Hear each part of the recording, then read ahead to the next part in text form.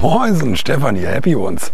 So, jetzt sind wir endlich da. Also so richtig. Und zwar mit allem, was man braucht. Mit einer trockenen Haut, mit dem ersten akkuraten Sonnenbrand. Wir waren nämlich heute schön über den Tag. Waren wir an einem Strand am Estrenk. Ist übrigens, naja, jetzt hätte ich fast gesagt, Geheimtipp. Wenn du mal auf Mallorca bist, fährst du unten Südküste Estrenk. Naja, so geheim ist das gar nicht. Da war nämlich ganz schön voll heute. Aber ist ganz nett. Da gibt es zwar so Buden, da kannst du ein bisschen Burger essen, ein bisschen trinken ähm, oder eine Cola, je nachdem, was man so gerade äh, an Gusto zu stillen Inseln hat. Und jetzt sind wir wieder auf der Finca. Übrigens eine geile Aussicht, oder? Kannst du das erkennen? Da hinten ist das Meer. Ähm, da ist unser Pool. Da gehen wir vielleicht noch rein gleich. Wir müssen ja wieder sauber werden von diesem Salzwasser. Und da muss ich mich eincremen. Habe extra sogar schon Aftersun gekauft.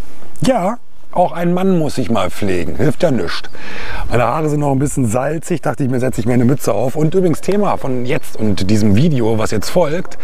Ähm, naja, Meinung der andere und der anderen und, und ja, mach dein eigenes Ding, don't give a fuck on what the others are telling you und Blasülz. Wie komme ich drauf? Naja, das scheint jetzt gerade wieder so ein Stück weit mehr in Mode zu kommen, ähm, auf vielen Kanälen zu erzählen, naja, mach dein Ding, gib nichts darauf, was andere dir sagen, höre nur auf dich und, und, und. Und da sage ich, hm, weiß ich gar nicht, ob das so gut ist, wenn man äh, Fuck auf, auf das gibt, was die anderen sagen. Weißt du, ich glaube, das Ganze ist wieder so ein Schwarz- und Weiß-Ding.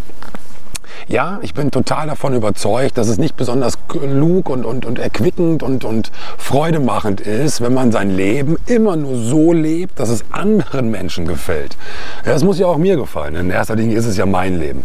Das Blöde ist nur, wenn ich mein Leben immer nur, und jetzt überspitze ich und überziehe ich das äh, ganze Ding auch mal, immer nur so lebe, wie, wie ich das will und überhaupt nichts darauf gebe, was andere Menschen denken, fühlen und mir vielleicht mit auf den Weg geben, dann bin ich jetzt könnte man dieses Wort vielleicht verteufeln, weil es bewusst, Stilmittel der Übertreibung, hart gewählt ist, dann ist das asoziales Verhalten. Punkt um. Nicht mehr und nicht weniger. Und wir Menschen, wir sind immer schon, also zumindest hoffe ich das und äh, gehe momentan auch noch ganz stark davon aus, wir sind soziale Wesen, wir sind Rudeltiere und in einem Rudel, da kümmert man sich auch umeinander. Und dazu gehört zumindest für mich in meiner Wahrnehmung auch, dass man durchaus auch Wert legt auf das, was andere Menschen versuchen, einem mit auf den Weg zu geben. Wenn ich äh, einen guten Freund habe, der mir einen Tipp gibt, dann liegt es ja an mir, ob ich das, was er mir erzählt, umsetze. Aber ich kann es doch annehmen. Wenn ich einen, einen Teilnehmer habe auf einen meiner Trainings und der schreibt in den Feedbackbogen irgendetwas rein, ähm, was vielleicht im ersten Moment gar nicht so besonders gut schmeckt. Der Herr Günther war zu lustig oder er war zu locker oder er hat zu schnell gesprochen, was auch immer. Dann liegt es an mir, ob ich es annehme. Es liegt immer an mir, ob ich es annehme, aber es liegt auch an mir, ob ich darüber nachdenke. Und wenn ich einen Fuck auf das gebe, was andere Menschen mir mit versuchen, zumindest auf den Weg zu geben, dann stehe ich total still. In dem, was ich tue, dann werde ich nicht vorankommen. Ähm, und wenn ich mir immer nur die, ja, weiß ich nicht, vermeintlich positiven Feedbacks raussuche, wenn ich im Job immer nur die Feedbackbögen lese, wo steht, der Günther, der ist total toller, dann komme ich auch nicht voran.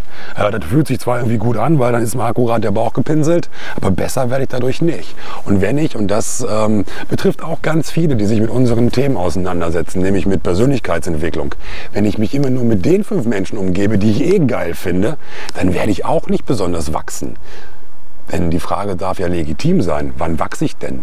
Wenn ich mich in einem Umfeld bewege, die mir ständig nach dem Mund reden, die mir ständig den Bauch pinseln und die mir ständig sowieso immer nur ähm, das, was ich, jetzt, was ich hören will, ins, ins Ohr erzählen. Ja, ich weiß nicht, ob ich dann geformt werde. Vielleicht werde ich immer dann geformt, immer dann entwickelt, wenn es tatsächlich darum geht, auch mal Gegenwind zu spüren. Sich auch mal mit Themen, mit Meinungen auseinanderzusetzen, die eben nicht unbedingt mit meiner Meinung korrespondieren. Was hältst du davon? Wie gehst du mit Feedback um? Wie gehst du damit um, ähm, wenn Menschen zu dir sagen, mach immer nur das, worauf du Bock hast? Ist das für dich etwas, wo du sagst, ja, toll? Oder ist das etwas, ähm, an der Stelle, wo du sagst, mh, hm, weiß ich nicht. Ich mh, hm, müsste auch mal darüber nachdenken, ob das, was ich tue, vielleicht etwas ist, was anderen Menschen wehtut, schadet, ähm, verletzt, ärgerlich macht. Und dann denke ich kurz darüber nach, bevor ich in die Handlung gehe. Und wenn ich feststelle, nee, das, was ich jetzt gerade vorhabe, das würde jemanden verletzen, dann sollte ich es vielleicht sein lassen. Zumindest in meiner Welt gehört das zu einem guten, sozialen und, und vor allem auf Dauer funktionierenden Miteinander dazu. Bin ich total gespannt, ähm, was deine Meinung ist. Schreib's doch einfach mal hier unten drunter. Übrigens, unten drunter, pass mal auf, jetzt machen wir mal folgendes. Jetzt äh, zeige ich dir mal ganz kurz, was hier so los ist. Ich nehme dich mal mit. Jetzt muss ich mal dieses ganze Mikrokabellage-Zeug nehmen. Mir hat ja einer geschrieben, ich weiß jetzt gar nicht mehr, wer es war, muss mal aufpassen, wenn du so im Wind sitzt, dass du Mikro nimmst. Ja, habe ich gemacht. Guck mal. Pool, Zuschauer. Zuschauer, Pool. Der ist total tief. Also wenn du mal ein Kind ertränken willst, hier ist super. Hier vorne total flach und dann geht das, glaube ich, so steil wie beim Mount Everest runter und da hast du 8,80 Meter. Kannst du tief tauchen. Ab Noe. Ich versucht, ab 1,20 kam ich wieder hoch. So, da ist das Meer und oh, hier sehe ich auch zum ersten Mal, hier ist auch schön. Da hat mal einer ein Feuer gemacht. Das waren wir nicht. Nein, das waren wir nicht.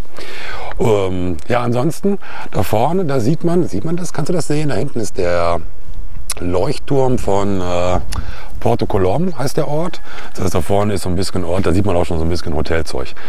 Ähm, das ist gut, weil da gibt es einen Supermarkt, da kann man schön einkaufen. Ansonsten habe ich dir den Pool eigentlich schon gezeigt. Sag mal, habe ich dir den Pool? Da ist der Pool. Guck, was für ein schöner Pool. Und der ist auch gar nicht so kalt, der ist eigentlich ganz geil. Der ist abends auch beleuchtet. Übrigens, ich habe auch ganz viele Videos, also was heißt nicht nur ich, sondern wir, ganz viele Videosequenzen aufgenommen für unseren Vlog. Boah, wird das ein Vlog. Du wirst so dahin schlittern. Gladitz wird sich wahrscheinlich totlachen. Aber ich glaube, für unsere Verhältnisse wird das ein bombastisches Ding. So, und jetzt sagen wir nochmal ganz artig, wir haben das ja den ganzen Tag geübt und brav, hallo. Hallo. Hallo. Super, oder? Funktioniert auch hervorragend. Guck mal, wir haben Tischtennis, äh, wir haben Buhl oder Boccia und wir haben auch noch ein Haus. So mit ist wahrscheinlich viel zu dunkel. Mit Wohnzimmer, mit Küche, mit bla und Abend gibt es Burger. Aber das ist ja gar nicht so interessant. Ähm, viel interessanter ist ja tatsächlich das, was du zu dem Thema glaubst, meinst oder zu wissen meinst, ähm, was ich dir gerade erzählt habe. Sozial, asozial, irgendwo in der Mitte? Lass mal hören. So, 37 Punktlandung. In diesem Sinne wünsche ich einen, jetzt habe ich aus dem Auge, total schönen Abend. Wir hauen uns ein paar Burger auf den Grill heute. Und ähm, dann werde ich mich wieder ransetzen und so ein bisschen den Vlog schon mal schneiden. Eine Sisyphus-Arbeit. Schön, was ist noch für ein Tag?